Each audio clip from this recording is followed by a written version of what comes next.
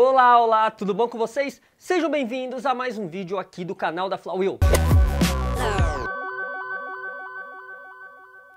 Antes de começar esse vídeo, gente, já deixa um like para ajudar a gente a crescer mais e mais aqui no YouTube, tá? E é claro, você que chegou agora e não é inscrito, já se inscreva no canal e ative o sininho das notificações. E também siga a gente em todas as redes sociais, lá no Instagram e também no nosso Facebook.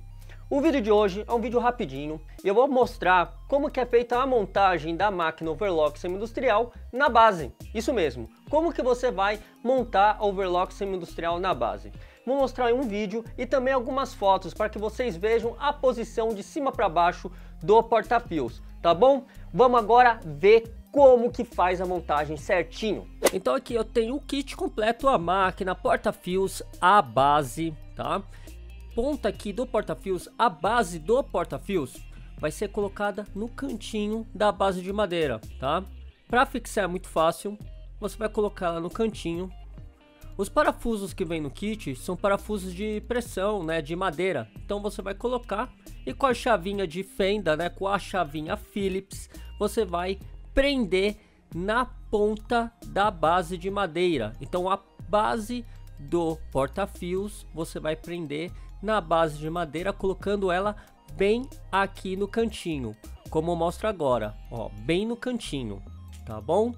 Vai fazer a montagem aqui do porta-fios, né? O padrão vai colocar os pininhos no porta-fios, é bem simples, tá?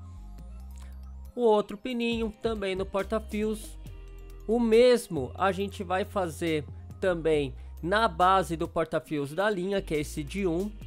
Vamos colocar Feito isso, eu vou soltar um pouquinho esse parafuso do porta-fios para que eu consiga colocar a haste no meio. Ó, coloquei a haste. Para fixar, a gente prende esse parafuso e ela fica fixa.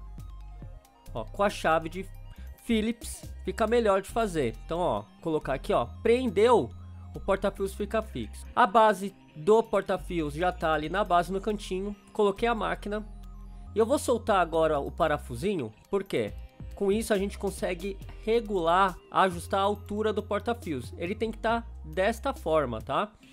E em cima, a gente tem que colocar de uma forma que ele não fique pegando na máquina. Dá uma olhadinha aqui, ó, a posição, fica bem afastado. Ou seja, afastado para que a linha ali em cima ela não pode ficar pegando nem no cone, né? Não pode pegar na base do porta-fios, tem que ficar tudo bonitinho. Vou fazer a montagem e eu vou mostrar para vocês agora em fotos o como que tem que estar. Tá.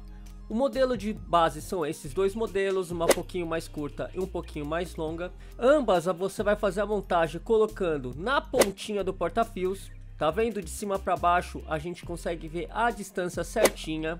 Todas as bases têm que ser montadas dessa forma. Você vê que tem uma diferença na base um pouco mais larga, que o porta-fios fica um pouco mais afastado. E essa base um pouquinho menor, que o porta-fios fica um pouquinho mais próximo. Mas ambas têm que estar montadas desta forma.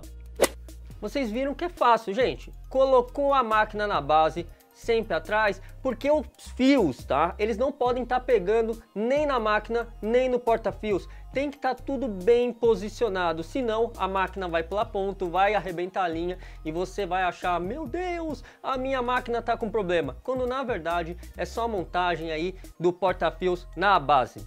Feito isso, vamos costurar bastante. Gente, tem muito vídeo aqui no canal e para você ficar por dentro, só ativar o sininho das notificações. Até o próximo vídeo e tchau!